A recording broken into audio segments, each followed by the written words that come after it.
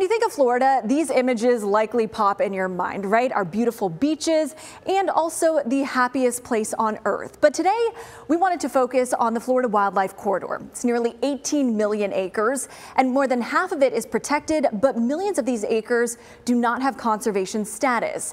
The corridor is made up of national parks, state forests, waterways, and working lands like Buck Island Ranch in Highlands County. I traveled to the ranch with our photojournalist Allison Shaw to show you the work being done to preserve and protect our environment.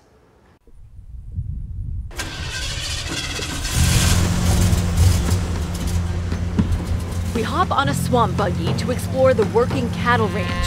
Our guide? Just a cowboy. Gene Lollis. Favorite thing? The open space. Don't hear no cars, don't hear no horns, no sirens, just peaceful. We pass hundreds of cows, wetlands, and field experiments. Dr. Hilary Swain is the executive director of Archbold Biological Station.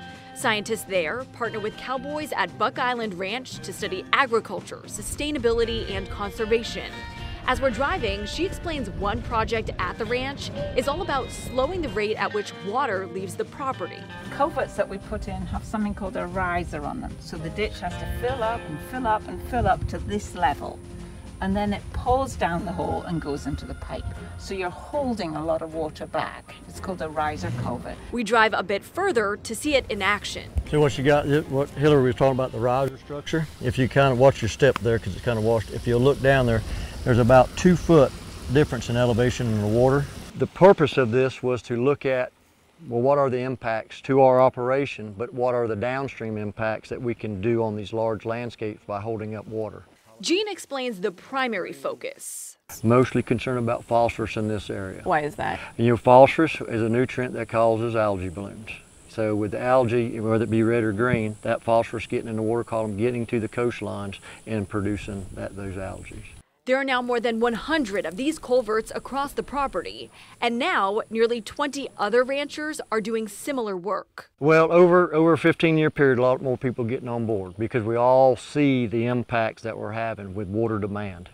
About a 20-minute drive away is Archbold Biological Station. We traveled there on a different day to learn about their research. It's right in the middle of the Florida Wildlife Corridor. Archbold's been here in, in Florida since 1941 and we're driving through some of the most precious places in North America right here in Florida. The Florida Wildlife Corridor is a mixture of natural habitats like where we are at Archbold. It includes working lands, um, forests and ranches and farms. It includes all the areas across Florida that contribute to protecting wildlife, helping to uh, conserve our watersheds. Um, in the long term, these are uh, really important for resilience. There's a gopher tortoise crossing the road there. Hilary explains why a vast connected network of land is so crucial for conservation through the life of a gopher tortoise. A little connectivity goes a long way for some species. For a gopher tortoise, cut off by three big roads, you are just going to end up with sort of a, a population of, you know, that is going to live there for a few decades but just die out because they're not, they're not breeding, they don't have any genetic diversity. In 2021, the Florida Wildlife Corridor Act passed with bipartisan unanimous support. It secured hundreds of millions of dollars in funding to protect interconnected natural areas in the state. And since then, thousands of acres of land have been added to the protected list, also helping the animals that call the Florida Wildlife Corridor home, like the Florida scrub jay. Lots of species like scrub jays or gopher tortoises need connectivity from one patch to the next. You will see our neighbour with some scrublands and you will see other neighbours to the north and to the west with scrublands, some of which are connected to us and others of which are not yet connected. And that's the long game of filling in the jigsaw of the Florida Wildlife Corridor. And we really just touched the surface of the work those scientists and ranchers do. So I put links to the biological station and the ranch on our website, abcactionnews.com, so you can learn more about their field work. Coming up tomorrow on ABC Action News, we're going further in depth on the work being done to study the animals in the corridor.